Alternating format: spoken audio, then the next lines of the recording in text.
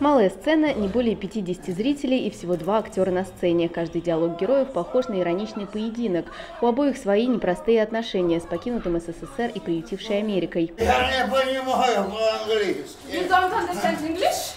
Да, Really? реально, реально. Вот из Гулькинхе. Oh, broken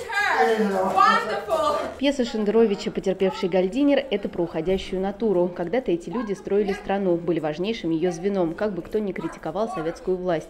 Раскрывается тема отцов и детей, одиночество человека, который переехал на другой конец света. Как живут русские мигранты в Америке, ищут ли своих и хотят ли обратно на родину.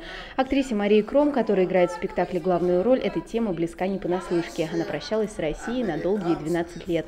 Бывала и на Брайтон-Бич. Я видела это, это метро, которое выходит на мост на открытый, и оттуда сыплется эта гарь, и она сыплется вот как раз на эти лоточки, где продают всякие пирожки, там, значит, э, 10 пирожков там по цене 5, в которых там в одном пирожке не хватает э, вишен, допустим. Вот это я все видела, все это знаю. Слушайте, мистер Голднер, вы просто чудовище. А, чудовище. Помешались на своем патриотизме. Америка, Америка. Наша замечательная страна. И скажи, дырки торчит по флагу. А, а, а простому человеку податься некуда. А, а вы пробовали? Сатирик Виктор Шендерович находит очень легкий язык. Историю он рассказывает с одесским юмором.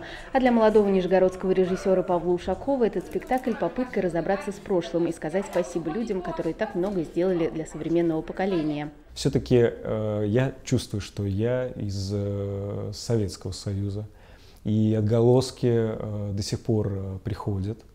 И мне, как молодому режиссеру, очень интересно разобраться в истории, в корнях, потому что я очень хорошо чувствую, что я именно вышел все-таки оттуда, несмотря на то, что я, э, наверное, в поколении 90-х, э, поколении Пепси. Кстати, сам Шендерович планирует посмотреть спектакль в Нижнем Новгороде.